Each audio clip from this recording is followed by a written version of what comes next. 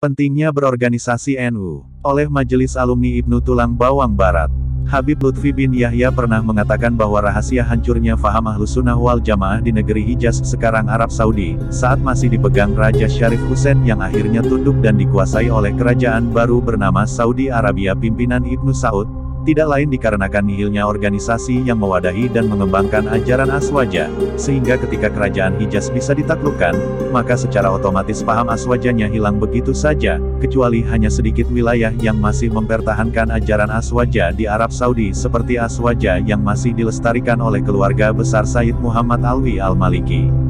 Alhamdulillah di Indonesia ada organisasi yang menyebarkan dan mempertahankan ajaran Aswaja al-Asyariah yakni Nahdlatul Ulama, NU, yang merupakan organisasi Islam terbesar di Indonesia bahkan dunia.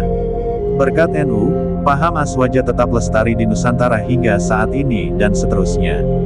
Maka musuh-musuh Aswaja paham betul akan hal ini, sehingga mereka berusaha dengan segala daya upaya untuk melenyapkan paham Aswaja di Indonesia dengan menghembuskan pemikiran atau pendapat yang menyesatkan, di antaranya anggapan, tidak usah NU-NUan, yang penting ahlus sunnah wal jamaah. Kalau anggapan menyesatkan ini diikuti, maka sedikit demi sedikit orang akan meninggalkan NU. Kalau NU sudah bisa dilemahkan, maka Aswaja bisa dilenyapkan dan NKRI bisa dikuasai oleh komplotan jahat tersebut. Sebab NU adalah salah satu benteng terbesar dan terkuat bagi keutuhan NKRI. Karena itu untuk memecah belah NKRI, langkah pertama adalah dengan melemahkan NU.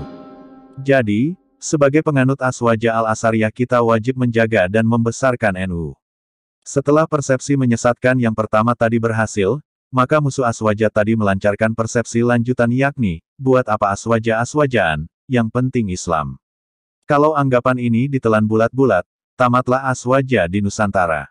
Karena itu waspadalah, waspadalah. Sebagai implementasi memperjuangkan NU, seluruh santri di pesantren NU wajib diberikan wawasan KNU-an lewat materi pelajaran Aswaja, serta melibatkan mereka dalam organisasi Banom NU seperti Ansor, Ibnu, dan sebagainya,